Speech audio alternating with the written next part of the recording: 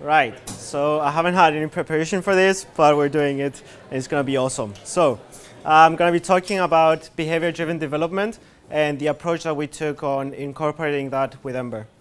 Um, so my name is Michael, and I'm an Ember addict. So I thought that it would be nice if we could all launch EA, Ember Anonymous. no, no. Okay.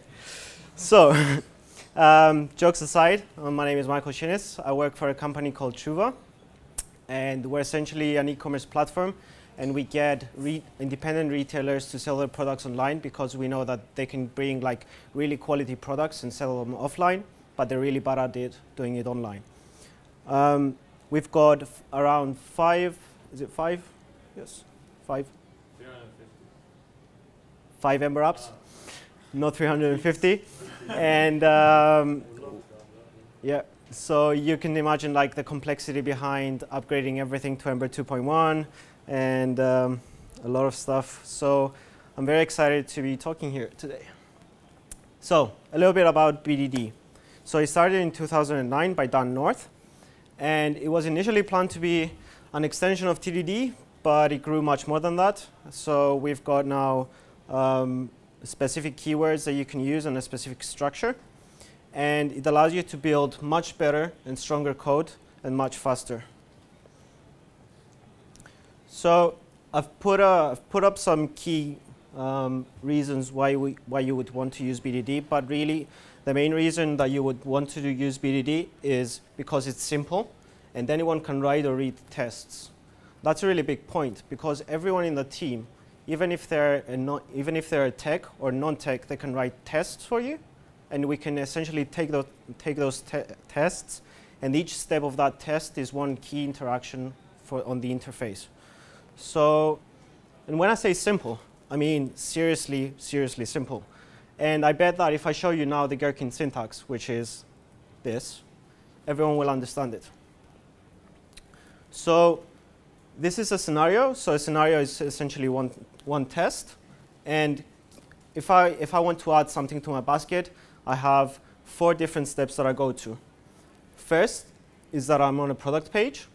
I have, say I have one item on my basket, and I, add the, I click the add to cart button, then I should have two items in my basket. So that's a really simple like uh, way that the actual user would behave. So hence the behavior-driven development. Um, the past few years have been really exciting for the BDD, um, for the BDD world and there have been many, many frameworks throughout, the, uh, throughout many languages. And being a JavaScript developer, I naturally just boiled down to the last two. So I either wanted to use um, Cucumber.js or Yadda, um, and it, it eventually boiled down to having an add-on for that. So we eventually boiled down to Ember CLI Yadda. So Ember CLI Yadda was uh, created by Albert Jan. He said he was going to be here. Not, not today. OK, so um, he was created by Albert Jan. He's an awesome guy. He does some really nice, some really nice uh, projects. So have a look at his GitHub. Right, so we'll go through like a really simple um, test that we would write, um, for example, on our website. Um, so we're going to go through a table pagination. And say we've got like a table that displays like colors, and uh, we have a limit of 10 on each, on each page. Um, the only thing that I'm going to assume is that you have Ember CLI Mirage set up because we always use it and it's really handy for running your tests much faster on, um, um, on your testing environment. So the setup. Okay. So the setup is really easy. You, you only need to do Ember install Ember CLI Yadda. And that downloads the package for you. I swear that's not going to take ages. And then it's going to eventually come to a point where it's going to run the generator. And it's going to install one file. Yeah, there we go. Uh, let me pause this.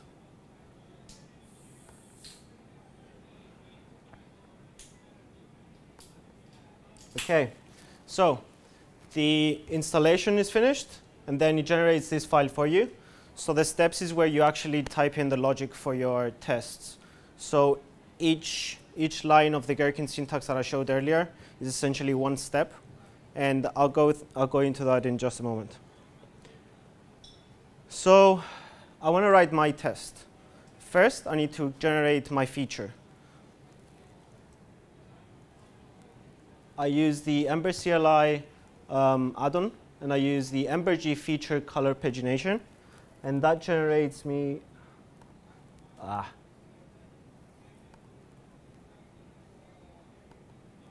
Okay, so that generates me two files. It generates the color pagination.feature, which is where our which is where our Gherkin syntax will go, which is the one that I've shown earlier. And it also generates the color pagination steps, and this is where we write some of our steps. I'll go into that in just a moment. So the file structure now looks like this. So, okay, so this is our steps, which is the global steps, which I will explain in just a moment. That's our color pagination steps, which again I will explain in just a moment. And let's dive right into this, which is where we will write our Gherkin syntax. So we named our test color pagination.feature. And .feature is essentially the extension that we use for the Gherkin files. So I want to test like if I have three colors and I'm on the I'm on the colors page, then I should only see three rows. So I want to I want to do an acceptance test just for that. And just for a sanity check, I'm going to check that I'm on the correct page as well. Now, remember that we added like a limit of 10 on each page on each page of the pagination. If I have 15 colors, then the second page should only have five. So my second test would be, given there are 15 colors, and I'm on the page two, so that's a query param, then there should be five rows, and that should be again on the same page. Now you see a lot of duplication on this, mainly because you have the same the same structure there, but you have different variables which is the number, and the page. Um, we can avoid the duplication horror essentially by, by using the tables, which is really handy. So when we were writing the test of Trouva, we, we came up with a huge, huge file of right, essentially having the same tests, but over and over again. And then diving right into it, we essentially found out that we could do it much easier with the table, but yeah. Okay, so the way it works is you write your scenario as you did before, but essentially anywhere that you want a variable, you would, you would put that within um, square brackets. So the, so the name number there would be essentially uh, replaced by the number on the table. And the same applies for the page, the display rows, and again the page. So essentially, each row on the table is one test.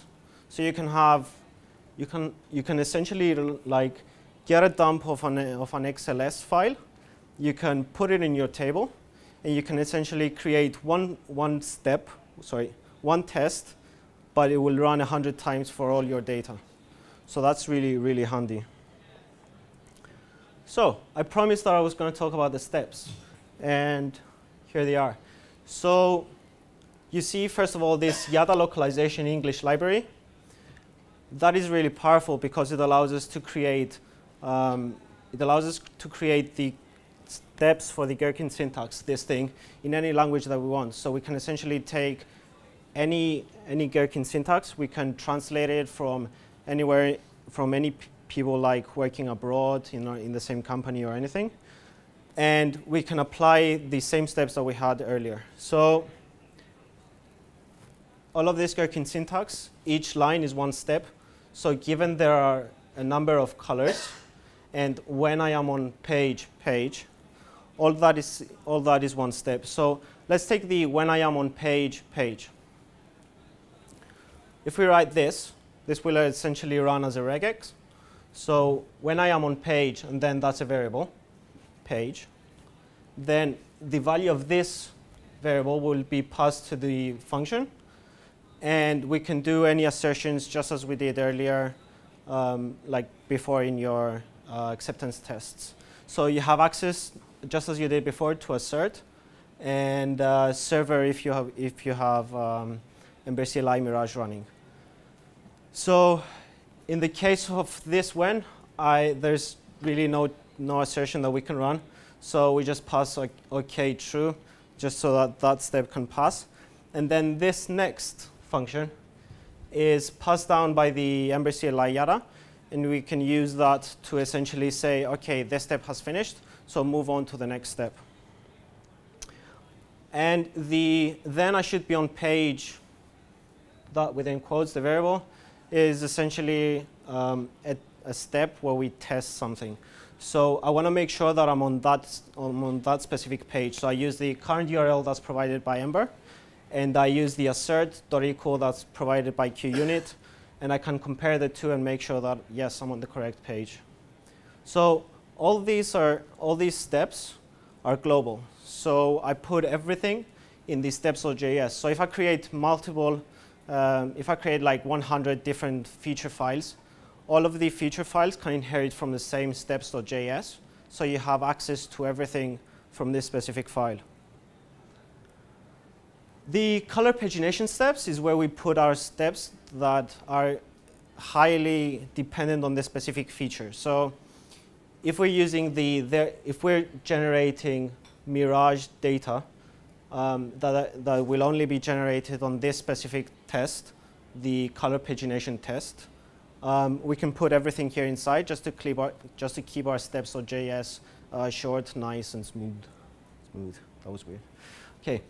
So we use the Ember CLI Mirage server.create list. We pass down the we pass down the factory. That's a wrong factory and we say the amount of uh, factories that we want to create. And that generates basically a list of, uh, list of data in Ember CLI Mirage. And then we can check that that number is correct by using the assert.equal again, just as we did earlier in QUnit. And again, we have access to the same parameters, the same objects that we had earlier in our acceptance test. And we can check that that amount is correct. And Again, we have the same access to the helpers, so we can use the find to count the number of rows. Um, that was meant to be like a really short introduction to BDD. I'm not sure how much more time we have left, so. Okay, because that was my end. So um, I'm creating an update that's coming out soon, not now soon as the, um, as the Babel guy announced last time but I promise it is coming by the end of next week, um, which will allow you to create uh, feature files and run your tests, uh, like proper unit tests on your models, on your components, anything that you want. So you can essentially just like run tests on specific components using the Gherkin syntax, which wasn't available before. Thank you.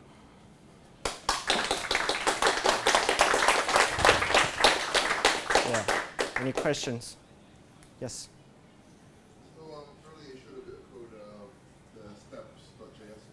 Yes.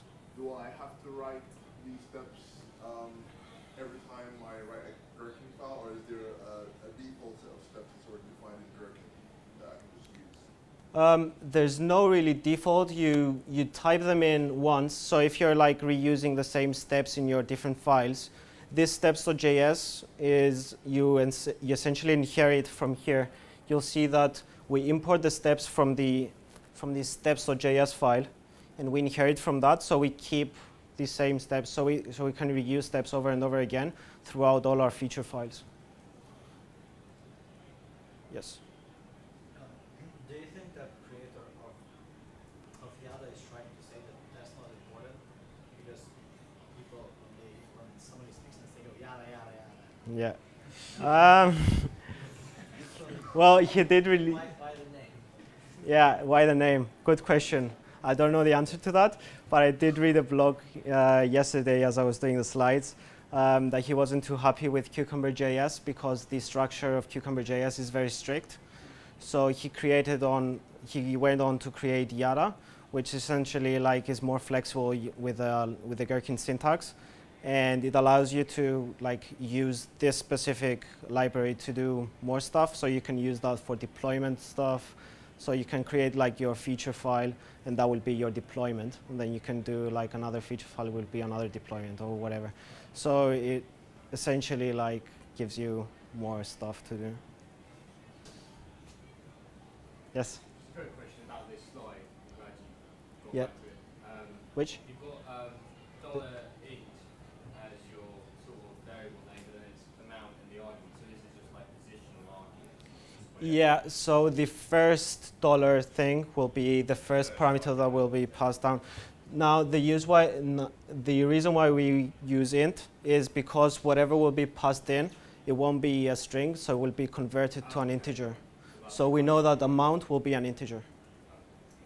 Yeah. Yes. So if you were to use one of Ember's asynchronous test helpers, like Yep. make or fill in Yep. or wait, um, would it be the case that you would do and then next? Is that how it works? Great question. So you have access to the end then for the acceptance tests, and you also have access to the wait for the unit tests that's coming in the next update. Okay, great. Yes. Where, you, you showed a table in one of the, on one of the Gherkin file. Where's that table stored? Is it literally written directly in the feature file? Yeah, it's literally written down like this. So you write your test, you, you say where, and that knows like wherever it finds anything within uh, square brackets, it will replace anything on the table with that value.